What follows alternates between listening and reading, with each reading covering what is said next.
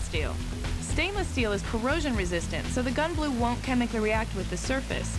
It will chemically react on the surface of mild steel.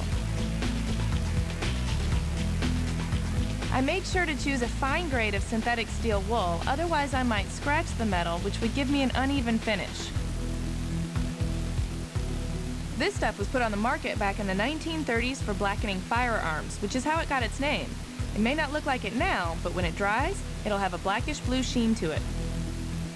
It usually takes about two to three applications for the chemicals in the gun blue to oxidize the metal enough to get the dark hue I'm looking for. Okay,